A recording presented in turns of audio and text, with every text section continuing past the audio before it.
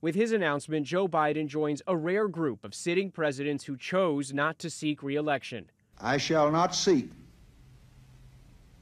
and I will not accept the nomination of my party for another term as your president. 56 years ago, President Lyndon Johnson announced he would not run for a second term amid the increasingly unpopular war in Vietnam and growing national unrest. Political violence. That year, we saw the assassinations of Martin Luther King and, and uh, Bobby Kennedy. We've seen, of course, this year, the assassination attempt on President uh, Trump's life. We saw divisions uh, and discord and volatility in 1968. We're seeing that again this year. In 1952, despite leading the country through the end of World War II, Harry Truman also opted not to seek re-election. Entering the Korean War, among other unpopular decisions, left Truman facing the lowest job approval rating on record, just 22%.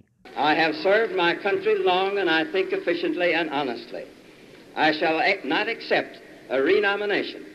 I do not feel that it is my duty to spend another four years in the White House. Presidents Teddy Roosevelt and Calvin Coolidge also decided not to run for another term, but Biden's decision stands apart from those of his predecessors, all of whom served more than four years in office. All of those presidents, Theodore Roosevelt, Calvin Coolidge, Harry Truman, Lyndon Johnson, all took the presidency upon the death of an incumbent, became president uh, in their own right by getting elected to the office and then declined another term in office. So this is a little different insofar as Joe Biden uh, did, you know, uh, was the candidate in 2020, became president, and has opted after one term not to go forward. But now Democrats are hoping to avoid history repeating because in the most recent two examples, when Johnson and Truman, both Democrats, stepped aside, a Republican won the next election Eisenhower following Truman and Nixon following Johnson.